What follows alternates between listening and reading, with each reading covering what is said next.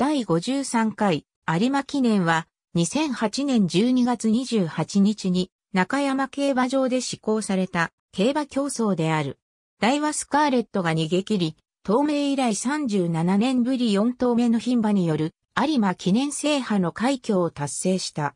2008年の中央競馬の総決算となる一戦である。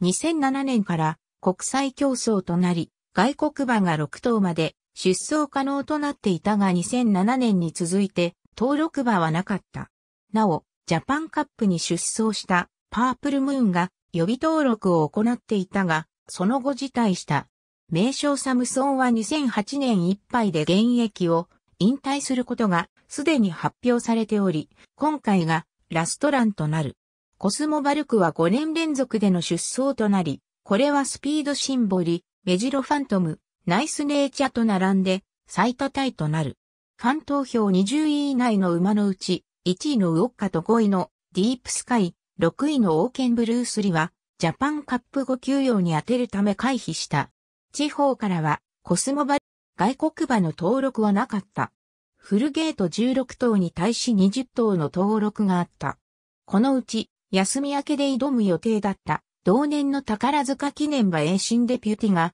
12月24日の調教中に右前足の軽靭帯を損傷。翌日に回避が発表されるなど、最終的には6頭の馬が回避したため、登録馬すべてが出走にこぎつけることができた。レース直前の単勝オッズ一桁台の馬は以下の4頭であった。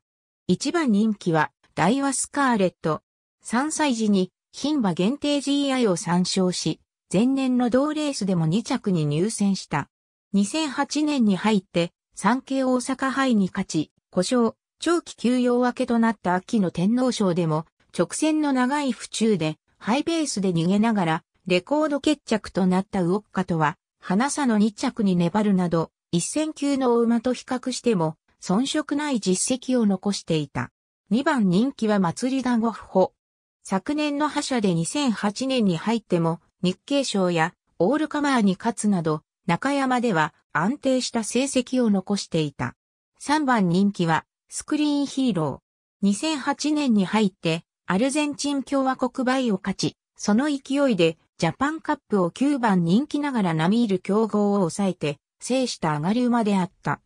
しかし、2008年の夏以降ほぼ使い詰めであるなど、状態面や前走がスローペースに恵まれただけと評価する向きもあった。4番人気は名称サムソン。3歳児と4歳児に GI を4勝した実績馬だが、2008年に入ってからは2着が最高で特に秋以降は走りに制裁を書いていた。同馬はこのレースを最後に引退することが発表されていた。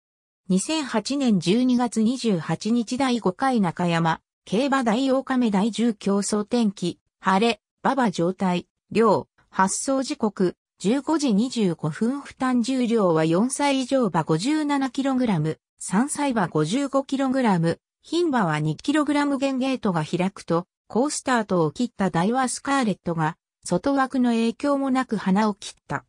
その直後に川上プリンセス、名称サムソン、浅草キングスあたりの GI 馬が先行集団を形成し、同じく先行すると思われていた祭りダゴッホは、外枠発走でさらにスクリーンヒーローにポジションを奪われる形で後方に控える格好となった。1000メートル通過タイムは59秒6と2500メートル戦としては比較的速いペースとなり、名称サムソンら先行勢が4コーナーでダイワスカーレットに詰め寄るも早々と失速し、代わってスクリーンヒーローが早仕掛けで2番手に進出するも、こちらも直線で脚色が鈍くなる。ところが、先頭を走っていたダイワスカーレットの脚色は、直線でも衰えるどころか逆に加速し後続を突き放した。先行勢がよどみないペースで崩れたため、後方からアドマイアムナークやエアシェイディトー、後方でレースを進めた馬が追い込んできたが、ダイワスカーレットは、すでに十分なセーフティーリードを保っておりそのまま、先頭でゴールインし、東名以来37年ぶり4頭目の牝馬による有馬記念制覇の快挙を達成した。